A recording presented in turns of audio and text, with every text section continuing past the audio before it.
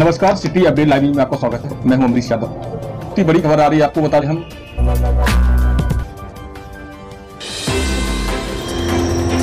कांग्रेस की भारत जोड़ो यात्रा को लेकर जिला उपाध्यक्ष सुरेश कुशवाहा ने ली कार्यकर्ताओं की बैठक।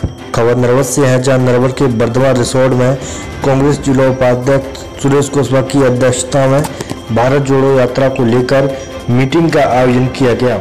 जिसमें सभी कांग्रेस के कार्यकर्ता सम्मिलित हुए। भारत जोड़ो यात्रा तथा 2 अक्टूबर से गांधी चौपाल को लेकर सभी कार्यकर्ताओं ने अपने अपने विचार रखे।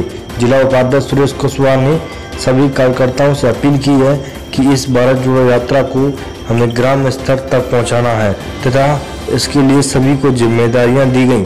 कांग्रेस पार्टी की विचारधारा विचारधारा को गांव-गांव घर घर तक पहुँचाने। देखिए, क्या कुछ कहा सुरेश कुशवाहा ने।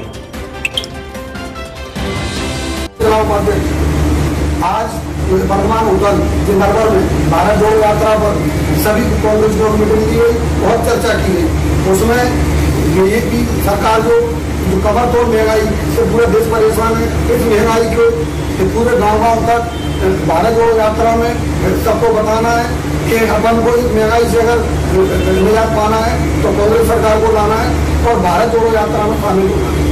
जय कांग्रेस विजय कांग्रेस, और हमारे मीटिंग में सीपी से विजय लाल साहब उपस्थित रहे चंद्रमन वर्मा मौली और लल्ला भैया रावत, ग्रामीण ब्लॉक अध्यक्ष उपस्थित रहे, और सभी कांग्रेसी दल उसमें उपस्थित ऐसी ताज़ा तगड़ी खबर देखने के लिए हमारे चैनल को लाइक करें, सब्सक्राइब करें और बेल आइकन दबाएँ, जिससे आने वाली हर खबर से आप अपडेट रहें। धन्यवाद।